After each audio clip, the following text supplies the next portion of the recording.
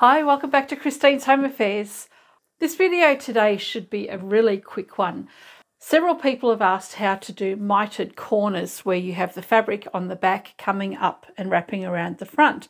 So I'm going to make a couple of little placemats. You can apply the same technique whether it be quilts, uh, baby blankets, um, placemats and mug rugs and things like that.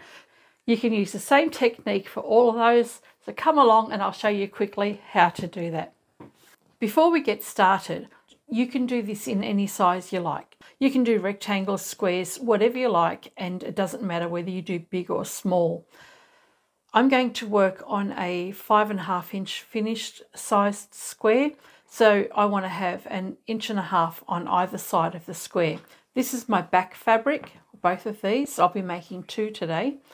And this is the feature fabric that you'll see on the front. So we'll have the binding coming over the front and this will be in the centre on both pieces of fabric. And because mine are finished at five and a half inches, I'm going to make my backing square eight and a half inches. It will be three inches bigger all the way around.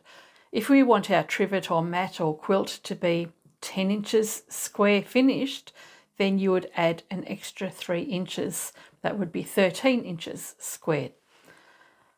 What we've got is eight and a half inches, just one piece of fabric. We don't need to stabilize that one. And then I have a five and a half inch square piece of fabric that will be the center of this. And on the back of that, I've stabilized it to give it some rigidity and I've stabilized it with Decovil. Now you can use a lightweight Pellon, you can use a fusible Peltex, whatever you want to use is fine. Even your interfacings will work for this as well. So anything that you want to use to give yourself some, some stiffness in your fabric is going to be perfectly fine. There's no rule as to what you have to use. So I've got one back fabric, one front fabric, and something fused to that five and a half inch piece. Turn your backing fabric so that it's wrong side up. And as I said, we've got this square is three inches bigger all the way around than my finished size. That means that when this square is placed in the center, I've got one and a half inches on either side of the fabric on all four sides. First thing we're going to do is mark a line at one and a half inches in. So I've got the one and a half inch line on my ruler here. I'm lining that up on the edge of my fabric and I'll just mark a line here and I'll do that on all four sides.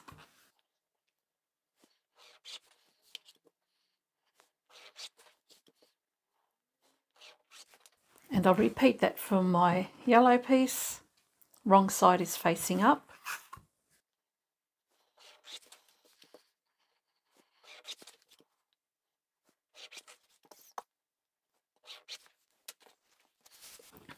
Okay, now both of our pieces of fabric have our five and a half inch square marked in the centre. And if you place that square over the top of those lines that you've just drawn,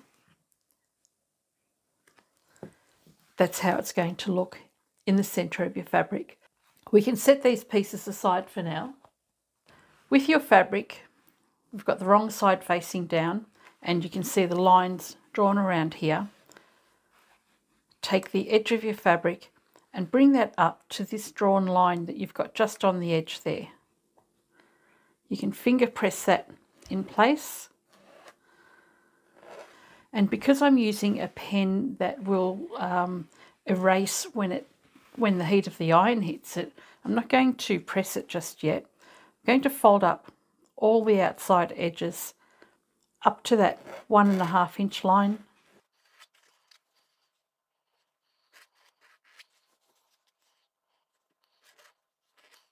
Once I've done that, I will do the same again, creating a double fold. So this raw edge will fold along that drawn line, creating a double fold. And now we can press that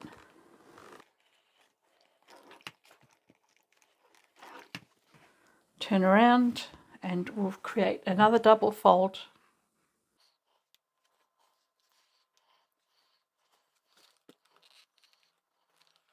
Bet you're thinking to yourself that this doesn't look like a mitered corner.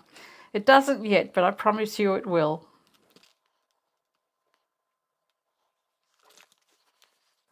And the last one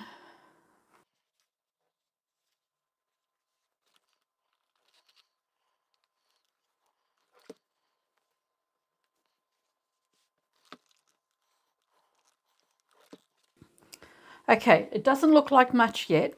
Once you've done the double fold on your squares, we can open it out so that we've just got one fold. We're going to make a mark on each side at one and a half inches. When you've made your marks, we're going to join those with a diagonal line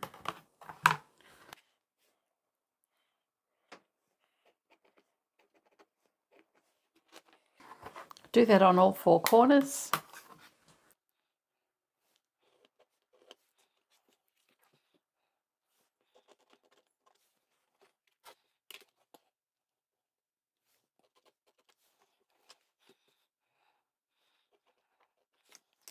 and that will become your stitching line. What you need to do now is fold the fabric in half on the diagonal, but we want to have right sides facing. So bring the right sides together. Line up this mark that we've got here with the mark that you've got on the other side. And you can pin or clip that in place. Do that for all four corners. Line up the markings that you've made.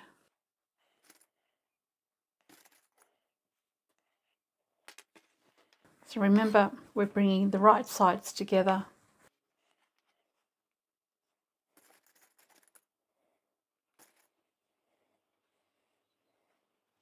Last one. Okay, now we'll take this to the machine and we're going to sew from here, from the outside edge on that single fold only to the diagonal line here. So you can do a back stitch at the beginning and the end. You'll do it the same on every one of these four corners. Let's take these both to the machine and we will sew up those corners. We're going to be stitching directly on that drawn line that we've just done, not beside it. We're going right on that drawn line. We'll start with a back stitch on the outer edge and then we'll finish with a back stitch on that folded edge.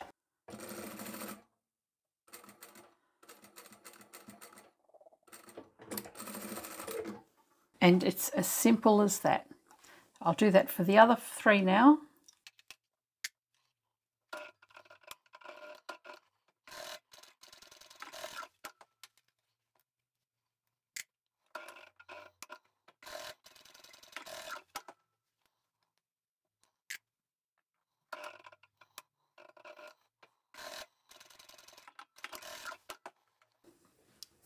We have a cute little basket, don't we?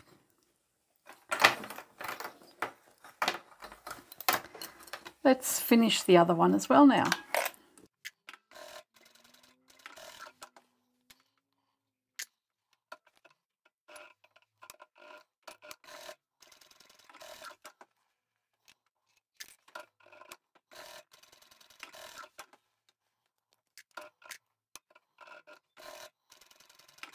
Okay, with the four corners sewn, we can trim the excess off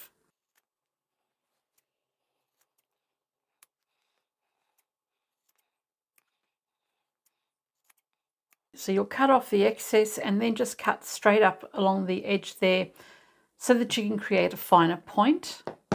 Then grab that seam, push it to one side, poke that out, and there's your mitre.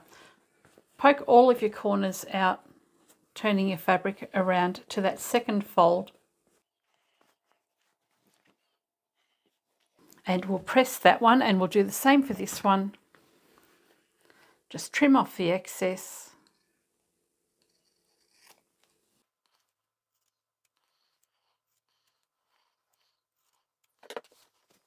And we'll turn it so that we've got the double fold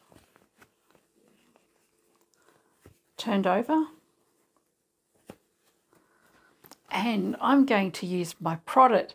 I got this in the mail last week, so I found out it's for poking out corners, which is what I thought it was for, but I got this from Rosie in New South Wales, and it helps poke your corners out. Give those both a good press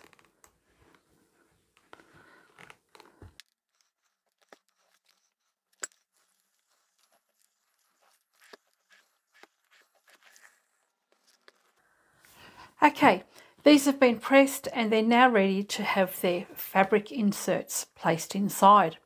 You might notice one's not a square. I don't know what I was thinking. Measure twice, cut once, they say, and I'm just like a bull at a gate. so if you find that you've made a mistake, in this case it's going to be a design feature, not a mistake, measure the finished product. This one measures four and a half inches by just under five and a half inches. We need to now cut our centerpiece to size. You want it to fit just right. The finished measurement of this now is five and a quarter inches. So I'm going to trim this back to five and a quarter inches. And we just have to do that on two sides. And this piece can now be inserted into the frame that we've got.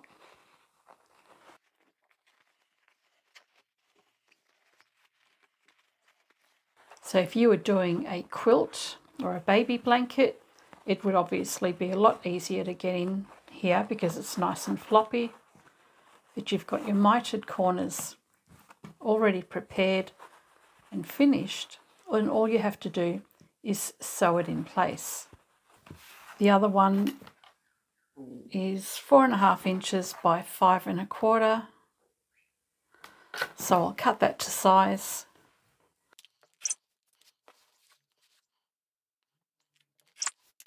And I'll place that inside as well. And this isn't all that you can do with these pieces. I'll show you in just a sec. So these two pieces are now ready to go back to the machine and all you need to do is sew really close to the very edge of your fabric here that will secure the layers of fabric in place. Your miters are all looking nice and neat, everything's neat on the back and you've got a nice little coaster or mug rug or, or framed quilt. The other thing you can do is grab your favourite photo and cut that to size. So these make great little photo frames.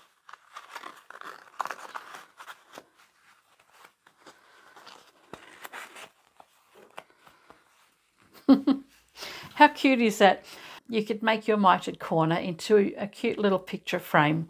And I would still go and sew that in place so that it sits nice and flat. You could even get a nice piece of vinyl over the front of it or the plastic sheeting, stitch that in place and that will help protect your photo. These are my twin boys. I can't believe they're going to be 30 soon.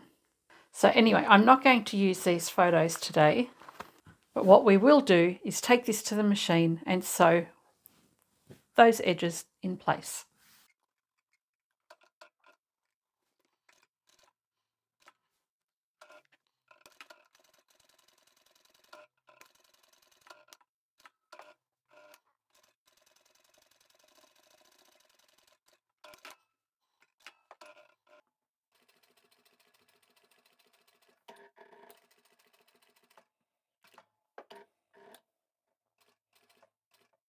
And when you come back to the beginning, you can backstitch and you're finished. And repeat for the other one.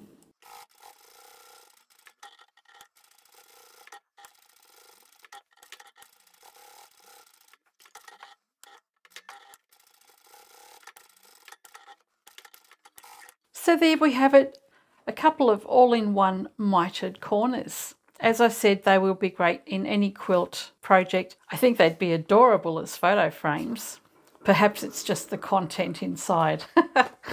very simple technique. There's no fuss. Uh, it's very, very forgiving as well. I haven't done my corner perfectly, and that's because I didn't follow my drawn line. I was off a little bit. If you line things up properly, you'll have no problems at all. This one turned out all right, despite me cutting it to the wrong size in the first place. So you can see how easy it is to make a nice fold over mitered cornered. So that was pretty simple, wasn't it? The fabric just wraps around the front, fold it over a couple of times and you've got a very easy mitered corner. They look nice on the back as well as on the front. Obviously you would go and match up your fabric better than what I've done. But what did you think of the idea with a photo on the inside? I think if I had have measured it properly, I would have put a couple of photos of my boys in there and stuck them on my wall somewhere. So I think that would look really nice too. Perfect for mug rugs, photo frames, uh, even as a panel inside the centre of a bag. We might do that one day. Let me know what you think. I hope you've enjoyed this video and I shall catch you next time. Bye for now.